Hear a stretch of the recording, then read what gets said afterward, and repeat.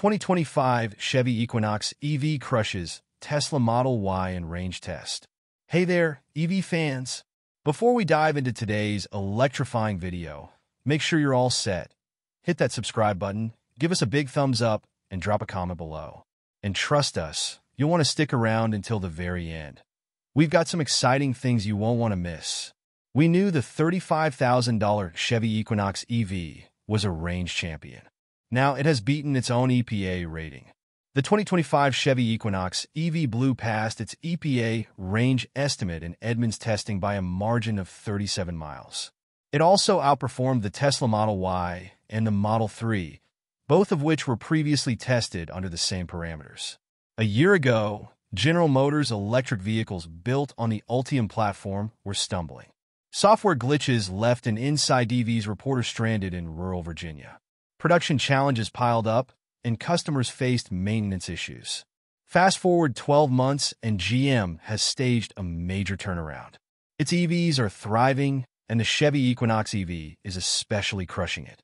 In an independent range test conducted by car trading and research firm Edmunds, the 2025 Chevy Equinox EV blew past its EPA range estimate of 319 miles.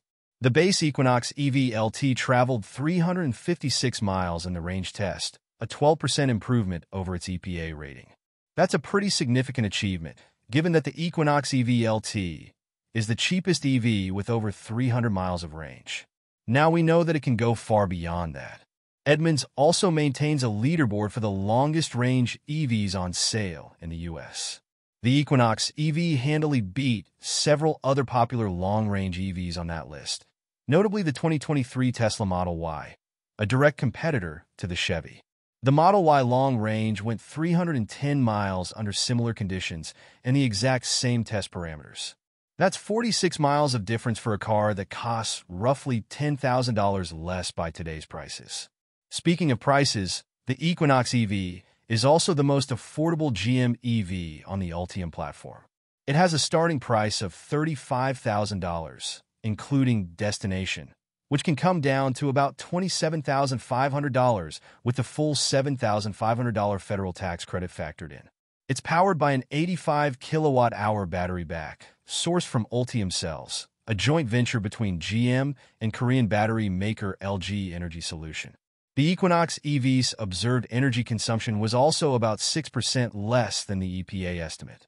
It consumed about 29 kilowatt hours per 100 miles compared to 31 kilowatt hours per 100 miles as per the EPA, which translates to about 3.45 miles per kilowatt hour. That means it also fared better than the 2024 Tesla Model 3 long range, 338 miles, Honda Prologue 320 miles, and the Cadillac Lyriq 319 miles, respectively. The Prologue and Lyriq ride on the same Ultium platform.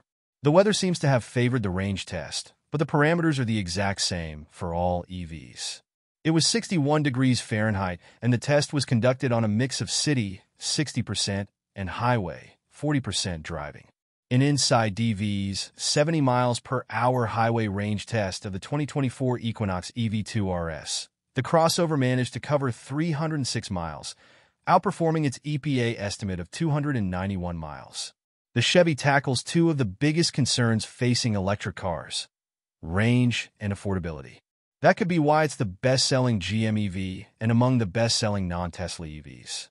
In the third quarter, GM managed to sell nearly 10,000 units of this car. But now, some of that momentum could be stalled as President elect Donald Trump has vowed to slap a blanket 25% tariff on all goods imported from Mexico, where the Equinox and Blazer EVs are manufactured. Thanks for riding along with us. EV lovers, if you enjoyed today's journey, double check that you're subscribed, smash that like button, and let us know your thoughts in the comments. Keep those batteries charged, and we'll catch you in the next video.